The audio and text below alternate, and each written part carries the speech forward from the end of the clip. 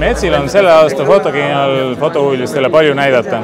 no teame ju, et tal oli siin uus välklamp, mida Ardo Jaako näitas ühes teises videos, aga Metsil on ka midagi filmihuvilisele ehk siis videohuvilisele.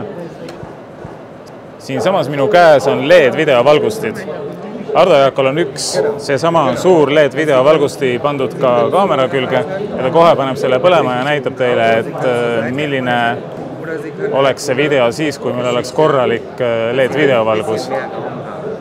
no umbes selline siis ilmselt oleks, ma loodan, et on kena. on, okei okay,, Ardo näitab, et on kena.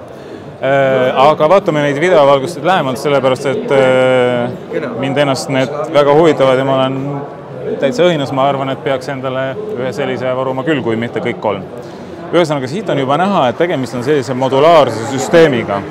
ehk et äh, saab neid üksteise külge, üks hetk, saab neid üksteise külge kinnitada ja saab neid üksteise küljest ka lahti võtta.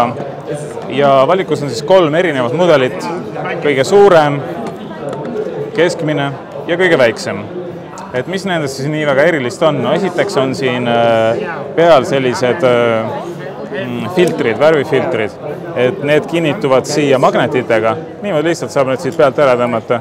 üks, kaks ja siit siis paistavad lihtsalt LED-lambid alasti. magnetiga kinnituvad need siia väga lihtsalt, et lihtsalt lükkad peale, saad neid kombineerida, nii saad kasutada ükshaaval, nii et väga mugav kogu see LED-lambi korpus on selline tummine ja, ja tundub käes soliidne, et ei ole mingisugune, ei tundu odav käes.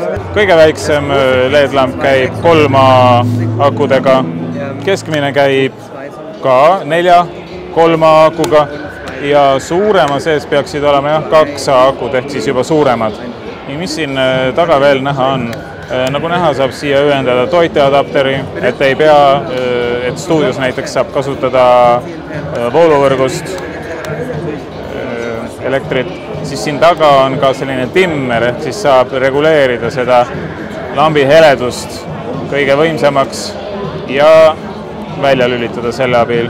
mis on veel üks väga huvitav asi nende Metsi LED-lampide puhul, on siin külgede peal on neil sellised kontaktid.